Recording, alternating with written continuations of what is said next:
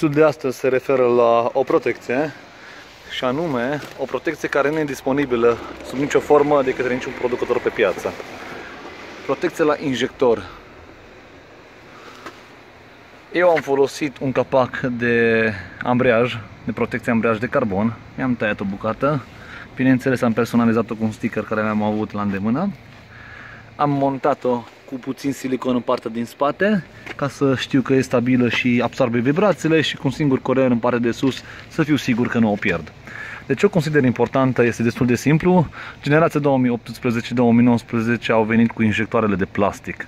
Fiind foarte aproape de rezonator, în funcție de tipul de rider care ești, dacă se încălzește suficient de bine rezonatorul, e posibil să ai șansa ca să uh, afecteze injectorul.